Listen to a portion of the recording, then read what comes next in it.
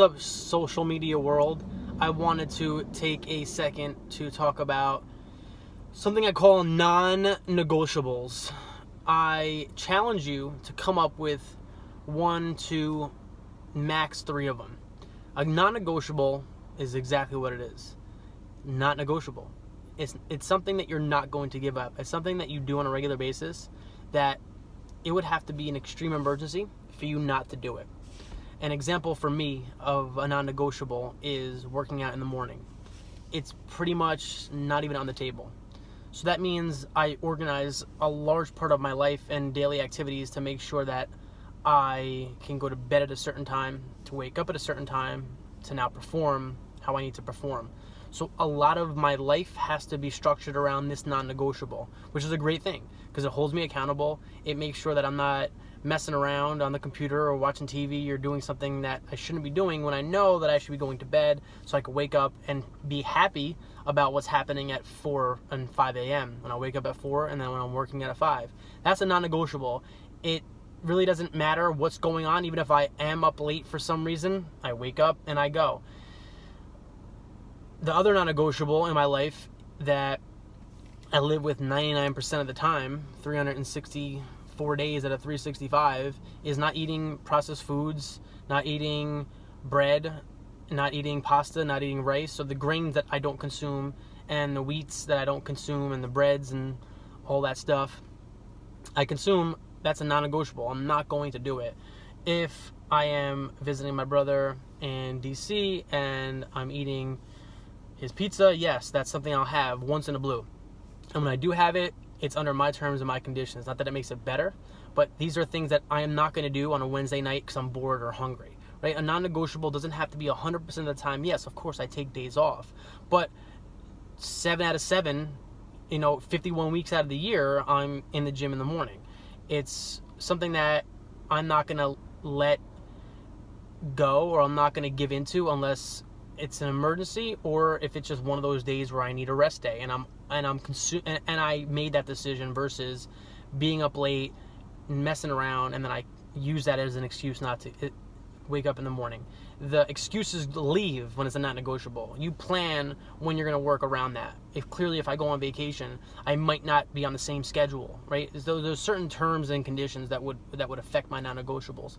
I would suggest seeing if you can come up with at least two to three things that make you a better person because those make me better. I feel better. I look better when I exercise and when I don't eat foods that I know that are going to harm me.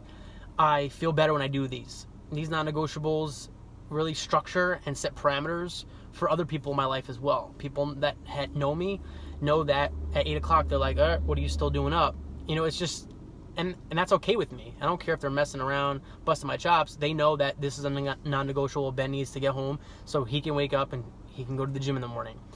And again, if you set these negotiables, non-negotiables, let's see how good you are at structuring your life to make those things happen. And if you cannot succeed in that, it's not a big deal. We, we, we should fail far more often than we succeed. But then that at least is self realization as to, hey, maybe I need something more. Maybe for me to be held accountable, I need a better support system. I need someone to do it with. I need a partner in crime. I need to change the terms of my relationships. I need to change the way my family is structured at home and the procedures and the nighttime rituals and what's happening and who's going grocery shopping, who's buying the food, what are you allowing into the house.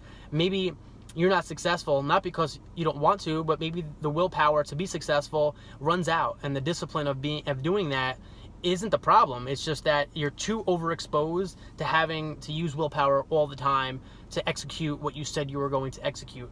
It's more than just did i do it or not? If you didn't do it it's looking at why. And if you did do it it's looking at what you were able to overcome to make these non-negotiables happen. And then you can maybe go into other areas of your life that you didn't think was possible, but you've proven to yourself that you've been able to do this thing. And it's not for a month, it's not for two months. This is something that would have to be obviously happen over the course of months. and years to know if is this something you can commit to. A lot of people commit to the gym for six months, but then what happens when life gets tough? If you're always waiting for the perfect time, it's never going to it's never going to happen. The perfect time never presents itself, and if it does, it's just a flash before your eyes because before you know it, something's up.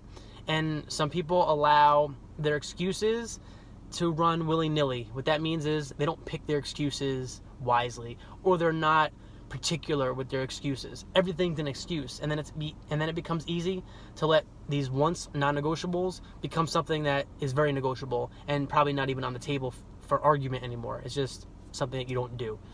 My challenge to you is what in your life do you actually value enough to not let something get in your way?